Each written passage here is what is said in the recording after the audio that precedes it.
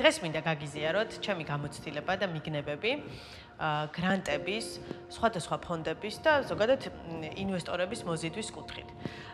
თქვენი ბიზნესი შეიძლება სხვადასხვა ეტაპზე იყოს, შეიძლება იყოს იდეის დონეზე, შეიძლება იყოს სტარტაპი, შეიძლება იყოს მცირე ბიზნესი, თუ უფრო ესე იგი უფრო განვითარების უფრო მაღალ დონეზე, თუმცა ყველანი ვთანხმდებით, რომ გჭირდება ფონდები და თანხა იმისთვის, რომ რაღაც წერტილიდან მეორე წერტილამდე განვითარდეთ და ასე ვთქვათ, ჩვენი ბიზნესი ახალ ეტაპზე გადავიყვანოთ. ამ სხვადასხვა ეტაპის სტარტაპისთვის თუ ბიზნესისთვის, რაზეც ვისაუბრეთ, სხვადასხვა ტიპის გრანტები არის, სხვადასხვა ტიპის ინვესტორები და საქართველოსშიც რა თქმა უნდა, თქვენ შეგიძლიათ მოიძიოთ ესეთი ტიპის ორგანიზაციები, ეს შეიძლება იყოს ჯიტა, რომელიც არის ინოვაციების და ტექნოლოგიების სააგენტო, სოფლის მეურნეობის სააგენტო, არის აწარმოე საქართველოსში, ჩვენი მეგობარი ქვეყნების საელჩოები თუ ფონდები და ისინი ყველანი ორიენტირებულები არიან, რომ ესე იგი თქვენ და ჩვენ დაგვეხმარონ რაღაც კონკრეტული მიზნების მიღწევაში.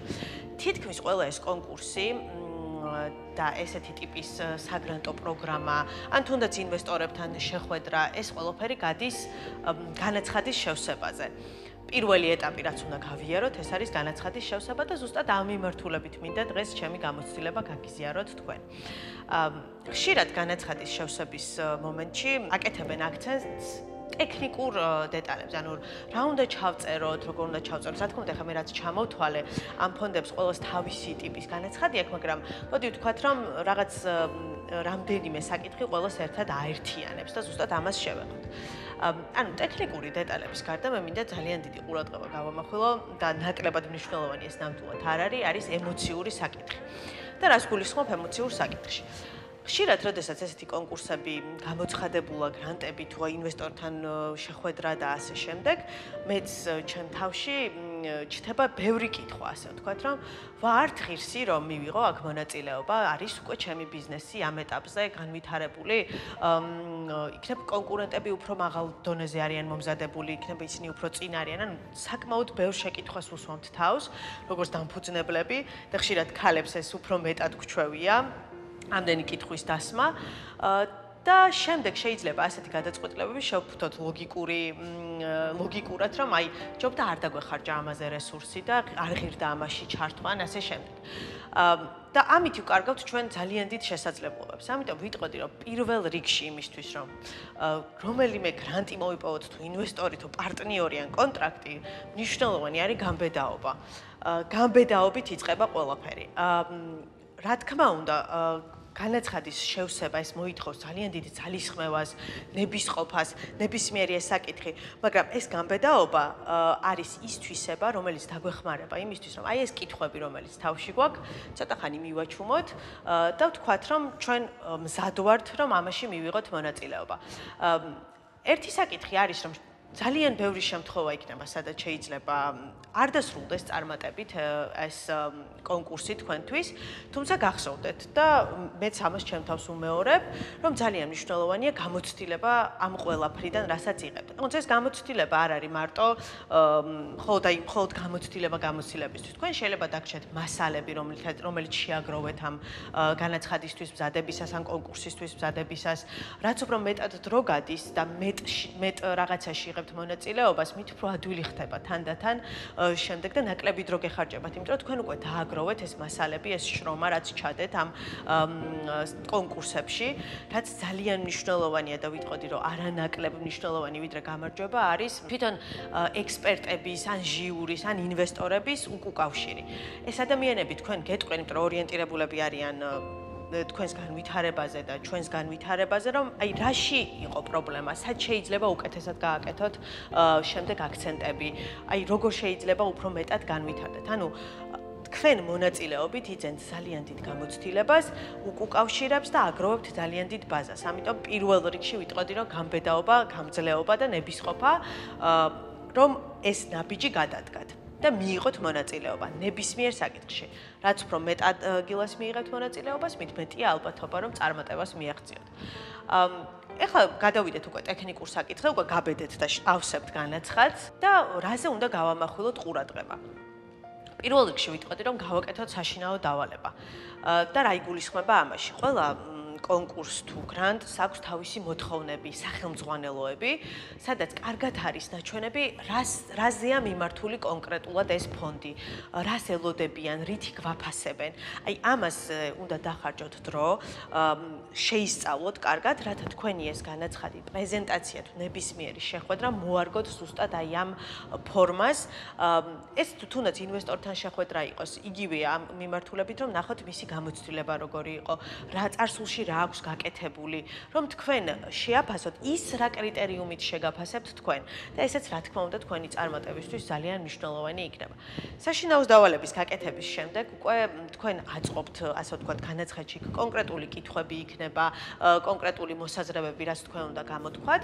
ჩემი შემდეგი რჩევა იქნება, რომ თქვენი აზრები და ნააზრევები გამყაროთ რიცხობრივად, ანუ სტატისტიკით. გამოიყენეთ საჯარო ბაზები, როგორც არის თუნდაც Saxtati, Google, თქვენ თვითონვე ჩაატარეთ მცირე კვლევა, რაც უფრო მეტად გაამყარებთ თქვენ მოსაზრებებს რიცხობრივად, მით უფრო მეტი თავდაჯერებულობა და გამაჯერებლობა შეემატება თქვენს განაცხადსაც, პრეზენტაციასაც, შეხვედრასაც და მით უფრო თავდაჯერებულები იქნებით თვითონ თქვენ და ეს განაცხადში ყოველთვის ჩანს.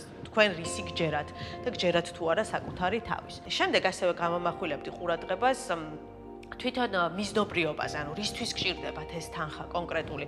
ანუ კარგად უნდა გააცნობიეროთ ახლა რა ეტაპზე ხართ და რა ეტაპზე გინდათ გადასვლა. და კარგი იქნება ეს მიზანი, რომელზეც ორიენტირდებით იყოს გაზომვადი და ეს დაანახოთ თქვენ ნებისმიერ ადამიანს, რომელიც მეორე მხარეს არის, იქნება ეს ინვესტორი, იქნება ეს ფონდი, ექსპერტი თუ ასე შემდეგ, რომ თქვენ იცოდეთ, რომ აი ამ თანხით, აი ამ წერტილიდან ამ წერტილამდე განვითარდები და ეს კარგად უნდა აანახოთ თქვენს ნებისმიერ გამოსვლაში თუ განაცხადში.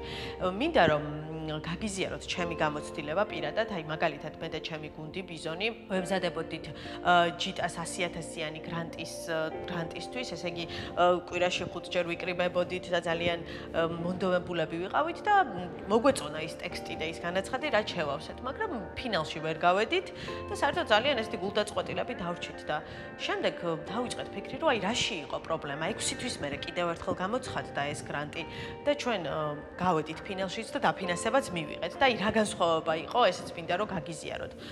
პირველ რიგში უნდა იპოვოთ ადამიანები, ვინც ეს გზა უკვე გაიარა თქვენზე ადრე და უკვე რაღაც წარმატების ისტორია შექმნა. ამ ადამიანმა მე მირჩია, ესეთმა ადამიანმა მე მირჩია, რომ მაგალითად შენ საჭიროა რომ შენს განაცხადში ჩანდეს კლიენტის პერსპექტივა და ამან ძალიან შეცვალა ჩემი და ჩემი გუნდის ხედვა და საერთოდ სხვანაირი სხვანაირად გადაგვაწყობინა მთელი ეს ჩვენი ტექსტი და პრეზენტაცია და ასე შემდეგ. ანუ ძალიან მნიშვნელოვანია რომ მხოლოდ ჩვენი ფილტრით არ უღუროთ ჩვენს ბიზნესს და შეხება გქონდეს ბაზართან.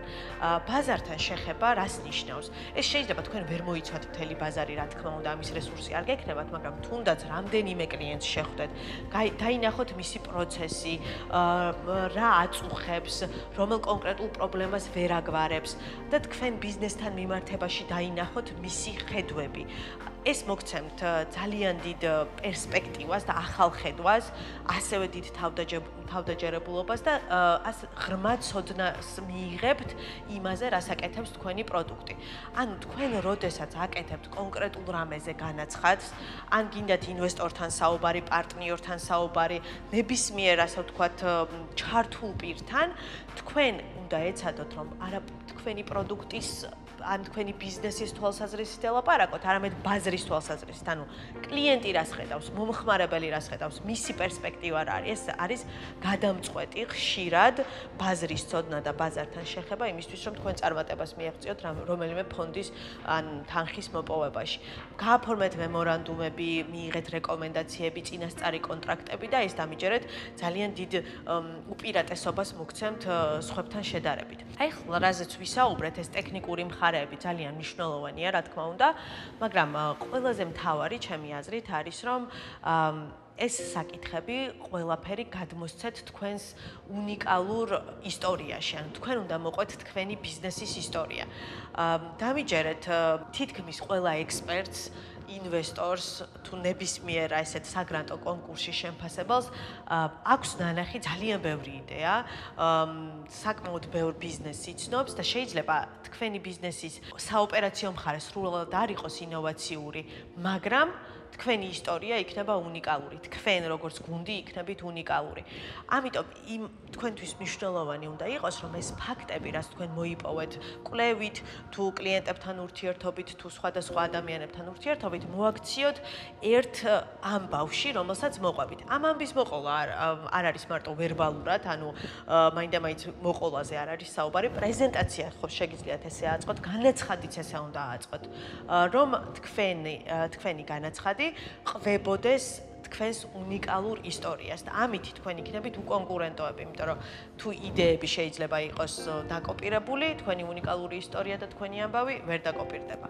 იმისთვის რომ გავზარდოთ ჩვენი შანსები თანხების და ფონდების და გრანტების მოპოვებაში, პირველ რიგში თავარია გამბედაობა რომ რაც შეიძლება მეტ ადგილას მეტ კონკურსზე დარეგისტრირდით, მეტი გრანტი შეავსეთ, მეტ შეხვედრაზე წადით, დატოვეთ ეს კომფორტის ზონა, იმიტომ რომ სხვანაირად უბრალოდ არ გამოვა. მეორე საკითხი, რაზეც თქვით გამბედაობის მე ეს არის გამძლეობა და ნებისყოფა, იმიტომ რომ ძალიან ბევრი წარუმატებლობა შეიძლება შეგხვდეთ და ესეც ბუნებრივია, ანუ ამით ამან არ უნდა შეგაშინოთ. რა თქმა უნდა, ძალიან მოქმედებს ხოლმე ეს და ჩვენი გუნდი ერთმანეთს გვერდში უდგავართ, რომ ესეთი საკითხები გადავლახოთ, მაგრამ იცოდეთ, რომ ეს არის ძალიან დიდი გამოცდილება, მასალები, უკუკავშირი და აი ამ მიმართულებით შეხედეთ ხოლმე ყოველთვის ესეთ საკითხებს. როგორც თქვით, აუცილებლად გავაკეთოთ უნდა საშინაო დავალება, მივაქციოთ ყურადღება მიზნობრიობას და რიცხვებს, რაც ასევე ძალიან მნიშვნელოვანი არის ჩვენი გრანტის წარმატებისთვის. და რაც ვთქვით, დაელაპარაკეთ კლიენტებს, მომხმარებლებს, რომ გქონდეთ ბაზართან შეხება. შეხედეთ ყველა ამ სიტუაციას მათი თვალებით და საერთოდ სხვანაირად შეძლებთ თქვენი პროდუქტის პრეზენტაციას. და როგორც თქვით, ყველაფერი ეს უნდა მოვაქციოთ ჩვენს უნიკალურ, უბრალოდ თქვენს და ჩვენს უნიკალურ ბიზნეს ისტორიაში, ბიზნეს ამბავში, რომელსაც მოყვებით ნებისმიერ შეხვედრაზე, 5 წუთიანი იქნება, ეს 30 გვერდიანი იქნება თუ ჩჩოულებრივი საღამო იქნება, ყველგან უნდა მოყვეთ თქვენი უნიკალური ამბავი და ამით ჩემი აზრით იქნებით სრულიად უკონკურენტო და ორიგინალური. და რა თქმა უნდა წარმატებებს გისურვებთ.